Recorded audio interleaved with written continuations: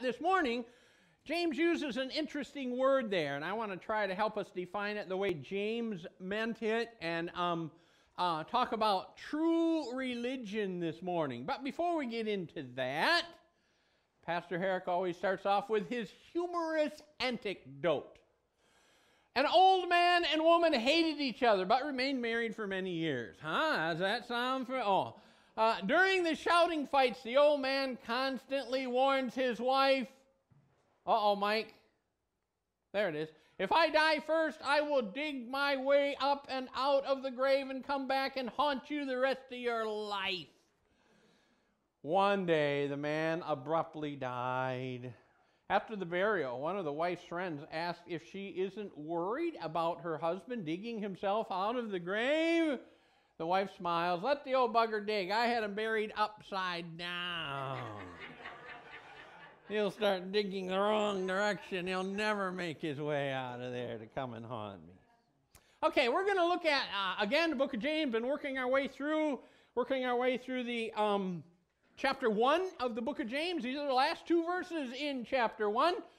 Uh, here's our text for this morning. Okay, let me read that for you. Just two verses, just two verses this morning.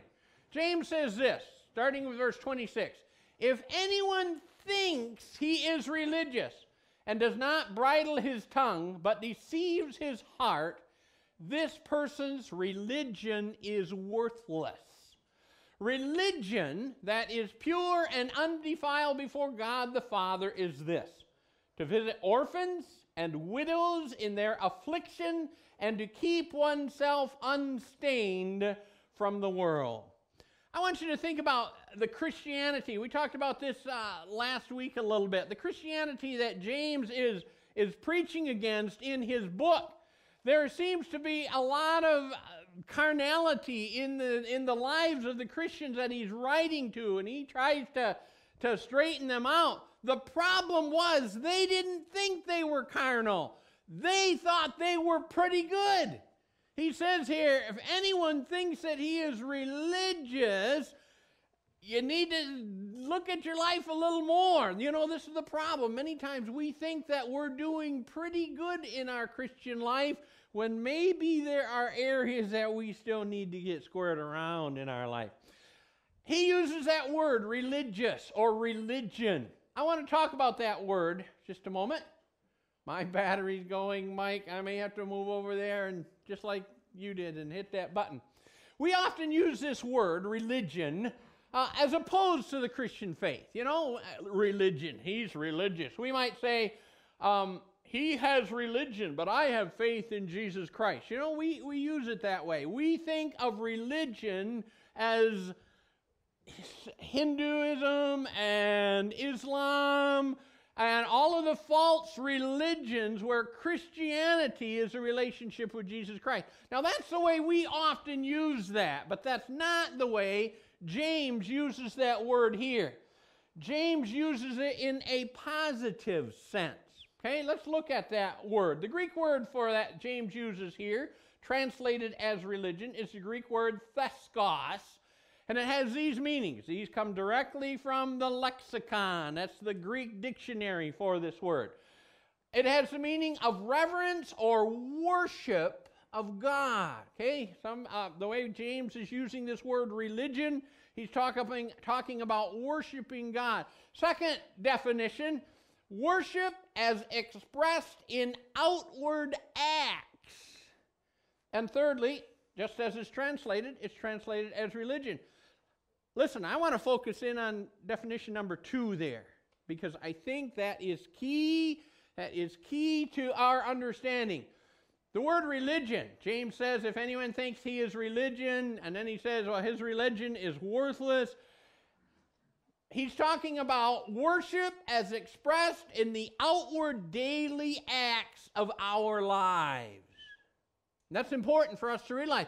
We think when we worship God, we do it on Sunday morning when we sing these, these praise hymns and we, we sing loud and we, we worship God. But I want to tell you something. We worship God not only on Sunday morning, but we worship God on Monday morning. We worship God on Saturday night. we worship God with our actions. And that's what this word is getting at.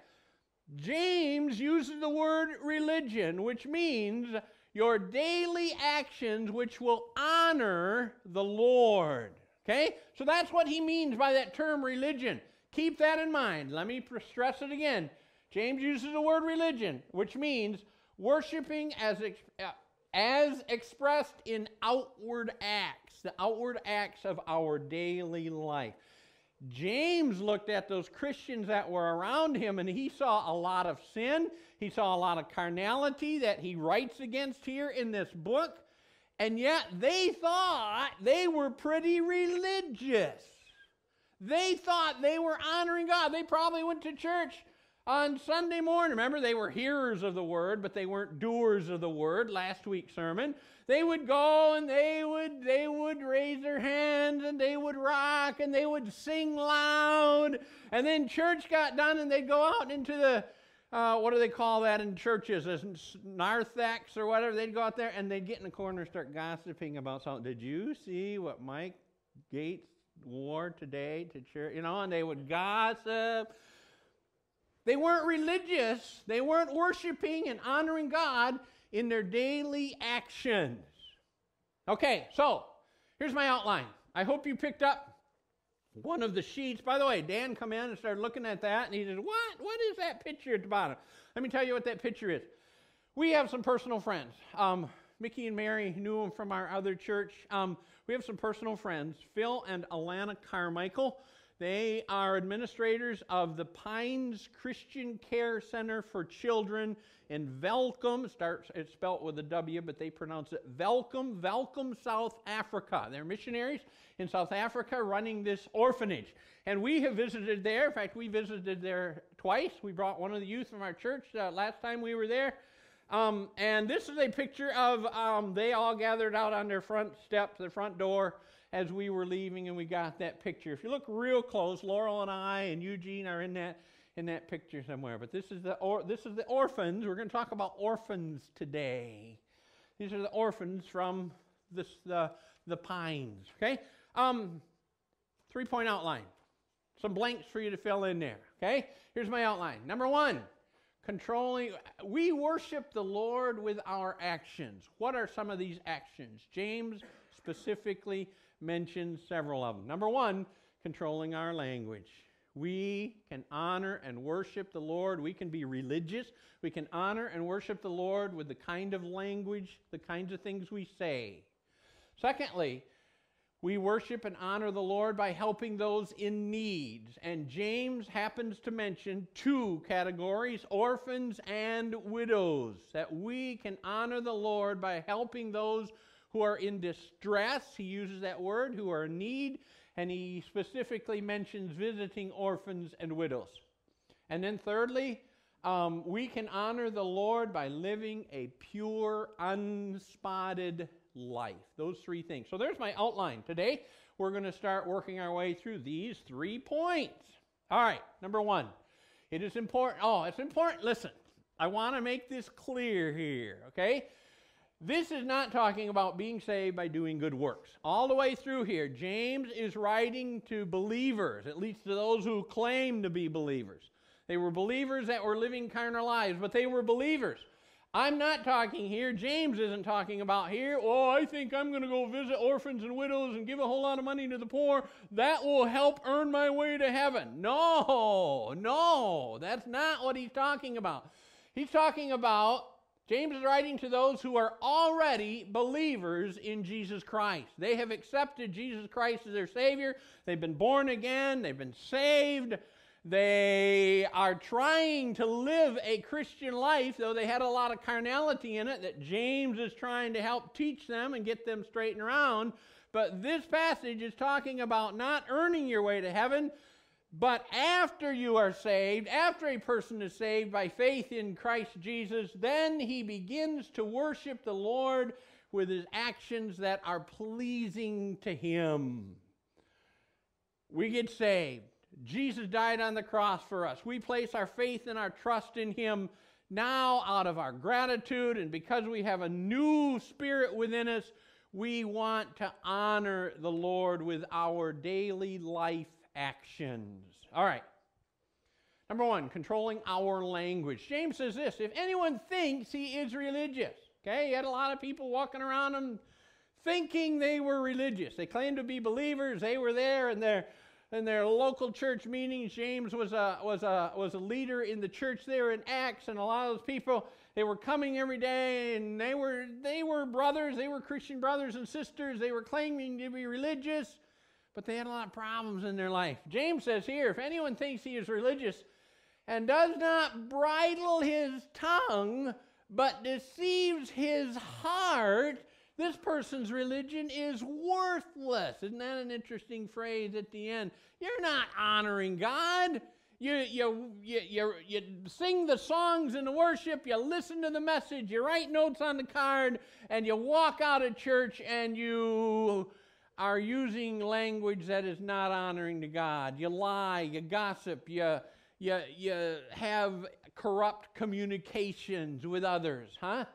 He says, if a man does not bridle his tongue but deceives his heart, this person's religion is worthless. The tongue. Now, the tongue. James has a long section later on. Remember how James, I told you, James, a little bit here, a little bit here, a little bit here, a little bit here, but then he comes back, and then he, a little bit here, a little bit here, and he comes back. And he's going to come back several times and he had some strong passages about the tongue. Okay? So uh, I'm not going to hit this topic real hard today because James, I'm going to hit it as we get into some of the other chapters uh, much harder. So I'm not going to hit it very hard here and now. But, yeah, when pastors say, but, you know, and in closing, and then they go on for 20 minutes more, you know, but. Uh, only to say the word that he uses here for our controlling our tongue, translated as bridle. We need to bridle our tongue. Man thinks he's religious, but don't bridle his tongue. What does that word bridle mean? Well, I'm not that much of a horseman. My wife was when she was younger. She had she started out with a little ornery Shetland pony, and and then she got a bigger horse, and then even after we were married, uh, uh, she wanted a horse, and and so we had a, we we we had a really nice Arab, just a beautiful Arab, and then my brother brought over a, an untrained uh, kind of a young buckskin, and then somebody gave us a um, old, old, old uh, Shetland pony that was ornerier than everything. At one time in our married life, we had three horses, and our kids would ride the horse, and Laurel knew quite a bit about horses. But I didn't know what a bridle was. Um, a bridle um, is something that you put on the horse in order to control the horse. I say here, it comes from the Greek word which literally means a bridle or reins used to control the horse, to control the horse. Okay? If you ever tried to hop on a horse and, you know, you see the Indians do it out west, they jump on the horse and they grab a hold of the mane. Well, that horse is going to want to go where he wants to go. I remember one time uh, uh, my little daughter, she was like five years old and she was on the big Arab, and that Arab was a, was he, when we took the, they were in this little fenced off pasture area, and when we took another horse out of the pasture, that horse would prance up and down the, the fence and his chest would puff out, and he was just a beautiful looking horse. But he had a mind of his own. And my daughter was riding him, and he wanted to go back into the barn and get some hay. And no matter what she did, that horse was heading for the barn, and he started to head for this um, low hanging door. And as it turned out, my my daughter grabbed onto the top of the door, was raked off of the top of the horse, and she's hanging there by the top of the door, and the horse went in the barn and did what he wanted to do. Well, we have reins and we have bits. James, a little later, is going to talk about bits in the horse's mouth. We have reins and we have bridles so that we can control the horse. Make it do what it is supposed to do. James uses that word about our tongue we need to bridle our tongue. Our tongue wants to do and go where it wants to go, And we need to yank back on those reins and say, Whoa, tongue, whoa. We need to control that. That's the exact word that he uses there in that verse. True worship to God includes the tongue. So, true worship of God in our daily lives, religion, that's that word, includes our bridling or our reining in of our tongue. I don't know if you know much about horses, but I have learned, Laurel told me this, that a well trained horse, you don't have to do a lot to. You're riding along with the reins, and you're something I was told I'm not supposed to do. I was grabbed a hold of that saddle horn because I was going to fall off, you know. And said, no, no, you don't grab that saddle horn. You're riding along with the reins, and if you want it to turn, all you got to do is lay the rein on its neck, and it will go in that direction. You want it to go the other direction, you lay the other rein on its neck. You don't have to jerk, you don't have to yank it. You just lay the rein on its neck, and it knows that you want it wants you to turn. You want it to stop, you just you don't yank on it, you just lightly pull back on it, and it knows because it's well trained, it obeys what the reins tell it to do. We certainly need to do that with our tongue. We can worship God in what we say, but we can also worship God by what we do not say. You know, the other day I was driving, talking with, talking with Tom the other day about this. I was driving along and there was a truck here and I'm here. And if he's right there and I'm right here, I'm in his blind spot. And all of a sudden, there was a car stopping in front of him, so he's going to kind of pull over, and he didn't jerk over. Fortunately, he didn't jerk over. He just starts coming over in my lane. The only problem was my guy was there, you know. And uh, my first reaction was, "Hey, buddy, what are you doing?" And I put on my brakes and I swerved over in the other lane. And then I remember several times when I had had somebody in my blind spot and I pulled over in front of them. So I calmed down. I says, I said, I actually said to myself, John, just calm down. You've made the same mistakes. He didn't do it on purpose. I was in his blind spot and he didn't see me there. We can worship God by what we say, but we can worship God also by controlling our tongue and not saying things when maybe we want to. James says true religion, worshiping and honoring God, means that you bridle your tongue.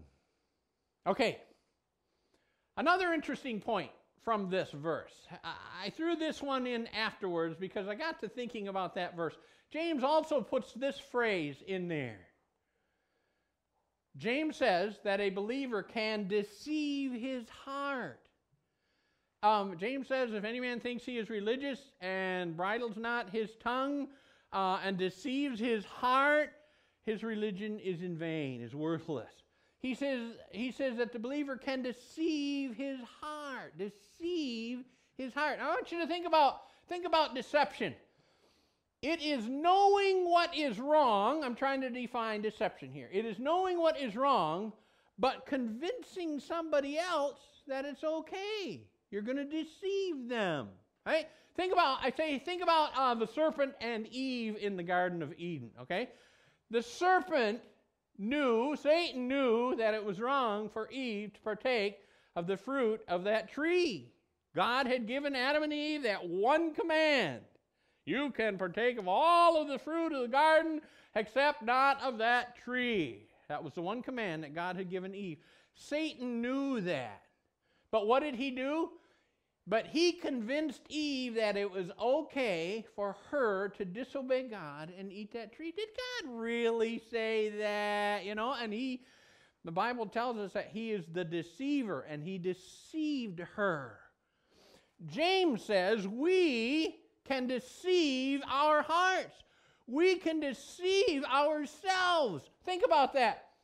How did I define it? Deceiving is it is okay uh, it is knowing what is wrong, but convincing someone else it is okay. And we'll do that sometimes.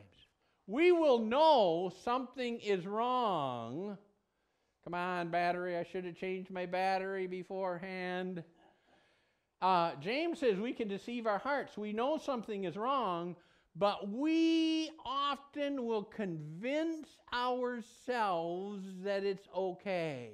No, I know I shouldn't be looking at that. That's not going to help my Christian life. That's not right. Yeah, but I can handle it. It's, it's, it'll be okay this time. Nobody will know. There's not going to be any problems with it. There's not going to be bad any, any bad outcomes from it. And we can deceive. I, I just thought that that was an interesting phrase deceiving our hearts. We talk ourselves into sinning. Our conscience says, no, don't do that. But we talk ourselves into it sometimes. Okay, number two. James says that we can honor and worship God by helping those in need. And James specifically mentions orphans and widows in this verse. Religion that is pure and undefiled, there's that word again, religion. Religion, how we honor God, how we worship God, that is pure and undefiled before God the Father is this to visit orphans and widows in their affliction. Um, true worship of God includes helping those in affliction. Now, here's some points I make. James mentions orphans and widows. Okay? Now, they certainly represent those who are poor and struggling to get along. It doesn't necessarily have to be an orphan and a widow for you to help them. It could be anybody who is struggling and going through a difficult time, maybe financially, maybe struggling emotionally, and you help them. God is pleased by that. That is a worship of God. But not only do orphans and widows represent anybody who is in distress, uh, they also represent a special class of people called orphans and widows. You know, they, they James literally is talking about orphans and widows. Now, you got to realize, uh, widows in those days um, had it very difficult. It was a different society. Um, and widows had a very difficult time making it in life, especially elderly widows, maybe whose husband passed away, and they have to try to live and get along in their elderly years, and life became tough. Orphans who did not have parents there to help them, to, to train them, to, to provide for them, they had it tough in that society.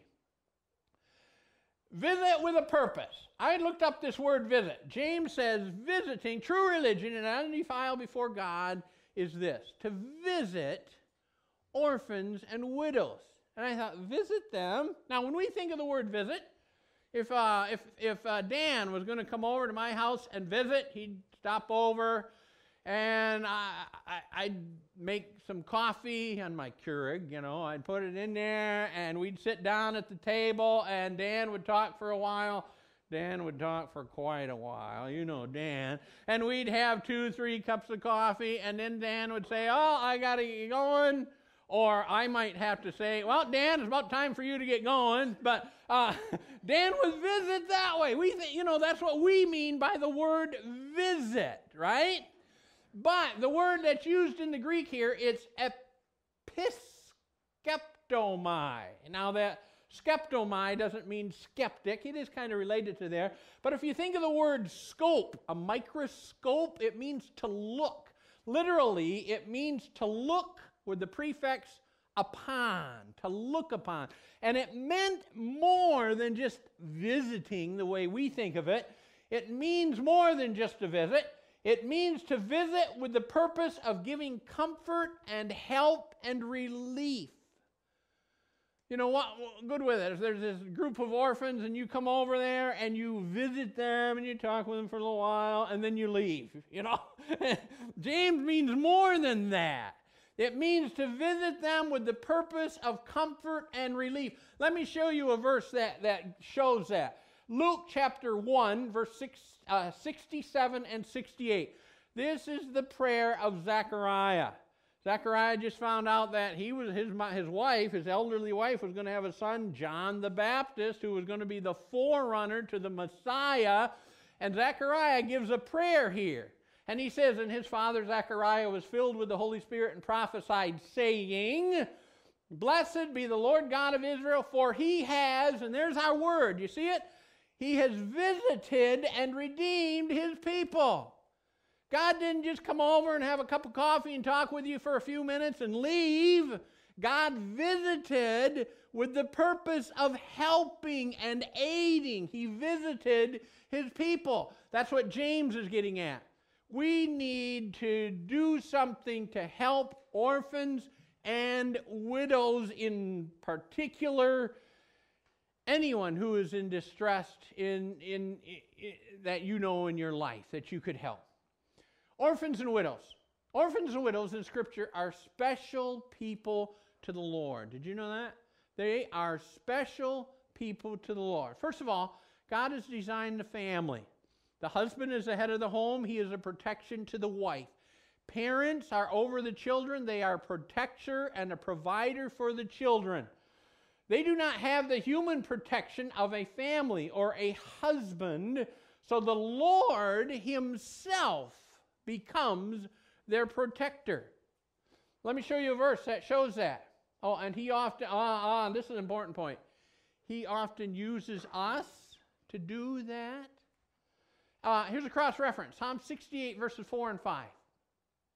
Sing to the Lord, sing praise to his name, lift up his song to him who rides through the deserts. Many of the commentators believe that this was written by David when he was running from Saul and he was out in the desert. That's why, that's why David uh, lift up a song to him who rides through the deserts. His name is Jehovah, Yahweh is the Lord, all caps there. Exalt before him. Then verse 5 says this, okay? It says this father of the fatherless and protector of the widows. You know, it's real popular to do a study, and it's very profitable to do a study of the names of God in the Old Testament. Uh, El Shaddai, uh, Jehovah, yeah, Rapha, Jehovah, Jireh. There's all, you know, all of those Hebrew names. Well, I want to tell you something. This is a name, is a title for God in the Old Testament. He is the father of the fatherless. That's a specific name. It just said his name is the Lord, exalt before him. And then it says the father of the fatherless, the protector of widows. Those are names given to God. God becomes protector of orphans, of fatherless. He becomes the helper of the widow lady. Cross reference Deuteronomy 24. This was built right into the law, put in the law. Talking to Israel as a whole, this is something you got to do. The Lord built into the Old Testament law provision for the poor, for the orphans, for the widows to be helped. This is what he says When you reap your harvest in your field and forget a sheaf in the field, you dropped one, you left one behind, you shall not go back and get it. It shall be for the sojourner, for the orphan, for the fatherless, for the widow, that the Lord your God may bless you in all the work of your hands.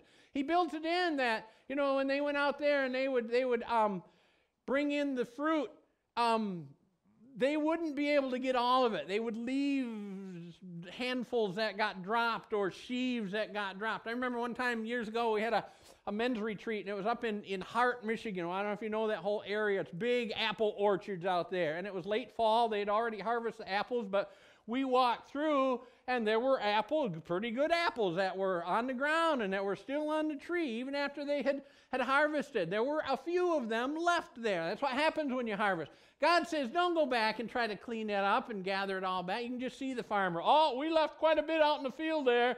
Man, go back and gather up all that stuff that you left there.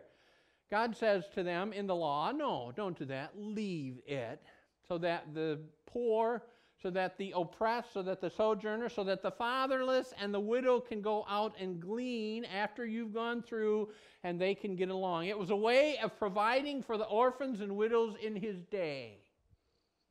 I want to share a wonderful, wonderful story. You love, any of you watch, you ladies, watch the Hallmark Channel? If you're a guy who watches the Hallmark Channel, don't raise your hand here. But any of you ladies who watch the Oh, they're always, you know, these wonderful love stories and stuff. Well, we got one of those in the Bible. Found in the book of Ruth, chapter 2. Naomi and her husband had gone to a faraway country because there was famine in the land. the boys had married, and the father died, and the two boys died, and there Naomi is in a foreign land with two daughter in laws, foreign daughter in laws. She heard things were going well back in Israel, so she's going to head back. But she told both of her daughter in laws, You go back to your family. Your husbands have died.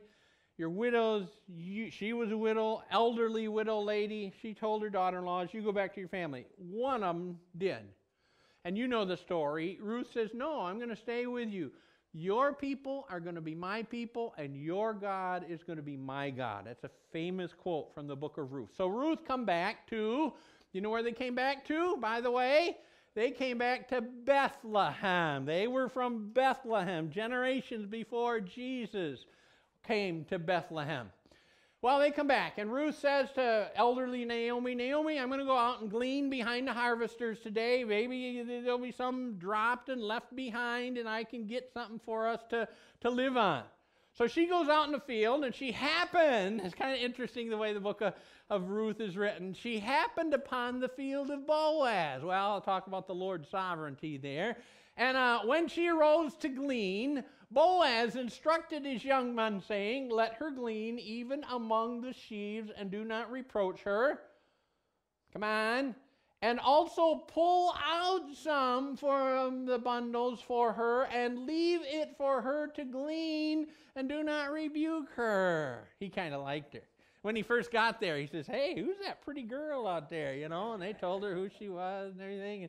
And so Boaz tells his workers, as you are gleaning, um, don't do as an efficient job of what of gleaning as what you usually do. I want you to accidentally leave some extra behind so that this gal can have a pretty and she did. By the end of the day, she it says she beat it out, so she beat the wheat stalk so that the grain come out, and she come home to Naomi, and, and she had a whole bunch of grains. You know, I did really well today, you know. Well, that's because Boaz had instructed for them to leave. Why? Because she was a widow. Naomi was a widow. God wants us to help the orphans and the widows. But not just the orphans and widows. James uses the category of orphans and widows to represent anyone who is in distressed situation in life. We, in an act of worshiping the Lord, remember that word religion, uh, can help those who are poor, distressed, going through rough times in life, those who are unpopular or looked down on, those who have made bad choices and are suffering from those choices. Those are the kinds of people, and we all have those in our lives, people that we know you as a Christian, a believer in the Lord Jesus Christ, can worship the Lord, can honor the Lord by going to them and helping them. That is an act of worship for you to go and help them. I'm going to read. I, I want to read something for you. I, I, was working on this message, and this is. I, I read our daily bread. That's a, a devotional book uh, from from Radio Bible Class here in Grand Rapids, Michigan uh, but it goes worldwide. But this, this is the devotional for, I think it was Wednesday morning. In Japan, food products are immaculately prepared and packaged. Not only must they taste good, but they must look good too, because the Japanese emphasis on good quality products with slight defects are often products with slight defects are often discarded. Okay, like a second-hand store. However, in recent years, Wakiri products, that's the word they use, have gained popularity. Wakiri means there is a reason. Isn't that interesting? The Japanese word wakiri means there is a reason these products have been set aside because there's some defect in it. Okay? Wakiri products, uh, wakiri means there is a reason in Japanese. These products are not thrown away but are sold at a cheaper price for a reason. For example, a crack in the rice cracker. You get some rice crackers that got bumped and they got cracks in them and they can't sell them for full price, so they sell them for a, at a second rate store. We have those kinds of stores around as well. My friend who lived in Japan tells me that wakiri, this is what's interesting, is also used as a catchphrase for people who are obviously less than perfect. So they have taken that word that had normally been used of food products that have been damaged and they have applied it to people. They call them Wakiri people. Jesus loves Wakiri people. I thought that was great. Which includes you and me. The greatest demonstration of his love was for us that while we were still sinners, we were Wakiri, Christ died for us. But this goes on and talks about how we can help Wakiri people in our lives. That's what he's talking about here. Damaged people, orphans and widows who have a distress in their life, have a difficult time. We can help them financially, we can help them emotionally, we can become a friend to them and aid them in whatever ways we can. Most of all, we can share the gospel with them and show them the love of the Lord Jesus Christ. How many of these kinds of people do you visit in order to help? That's that definition of that word visit. Huh? Think about that. Think about picking up some of these kinds of people in your life. Living a pure life, verse 37, 27. B. Religion that is pure and undefiled before God the Father is this to visit the orphans and widows, and, here's the end of it, to keep oneself unstained from the world. We need to keep ourselves pure, unstained from the world. James uses the word um, aspilos, aspilos, literally meaning no spot or no stain. Now, when I saw that, I knew that on the beginning there that when you put an alpha on the beginning of a Greek word, it's like putting a UN on the front of an English word. You know, it, it, re, re, it makes it the opposite. We say stoppable, unstoppable. We say, you know, we put an U in there. The Greeks put an alpha, their, their letter A, on the front of it, and that made it the opposite. And so, so the, the word spilos literally means a spot or a stain. So I right away thought, I wonder if our English word to spill you know, you're drinking a cup of coffee and you spill it all over your shirt. You're all dressed for work and you got your tie on and you, well, maybe you know where a tie is, but you got your good shirt on. You're all ready to go. You're drinking your cup of coffee in the morning and you spill it all over your shirt. You know, so I was going to see, so I looked at the, the etymology, that means the root, where did it come from? The etymology of our word spill, and it doesn't come from this Greek word, though. I was hoping it would. I thought that would be. But it comes from the word aspilos, which literally means no spot, no stain. So that says this as a Christian, we are forgiven and we are blameless before God, but sin in our lives causes us to have spots and stains in our worship of the Lord. True religion, true worship of the Lord in our daily life is to be unspotted from the world. Now, uh, here's a, here I could pick up on that word world and I could preach for hours on that word world. And we got, we probably got two, three hours yet. So I'm going to go ahead. No, well, I'm almost done here. I could pick up on that word world. World does not mean the earth, but as you know, when the Bible uses the word world, it's talking about Satan's organized system. John says this in 1 John Do not love the world or the things that are in the world. If anyone loves the world, the love of the Father is not in them. Come on. For all that is in the world, and then he divides it into three categories the desires of the flesh, the desires of the eyes, and the pride of life, uh, is not from the Father, but is from the world. James says we need to keep ourselves unspotted from the world. Another cross reference, Romans 12 2. You remember Romans 12, 1 and 2. I beseech you, therefore, brethren, by the mercy of God, present your bodies a living sacrifice, holy, acceptable unto God, which is a reasonable service. And be not conformed to this world. Come on.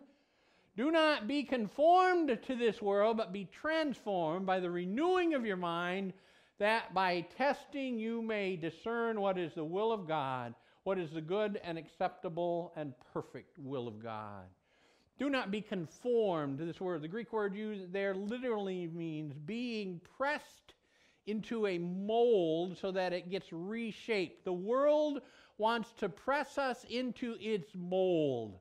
James says we need to keep ourselves unspotted from the world. Okay, I've come to conclusion. James' word, religion, refers to our worship of God with our daily life actions. If you walk out of here, I want you to remember that. We have religion every day of our lives, meaning the actions that we do can bring honor to the Lord. This text shows that we can worship Him in three areas. We can worship Him by controlling, by bridling our tongue. We can worship Him by God by helping the afflicted, especially the widows and the orphans. And we can worship God by keeping our lives clean from worldliness and sin. All right, I'm going to close with a video, special video. It's a special video to me. It may not mean as much to you, but we had visited, uh, visited the Pines uh, Christian Care Center. It is a, an orphanage in South Africa. It is an aid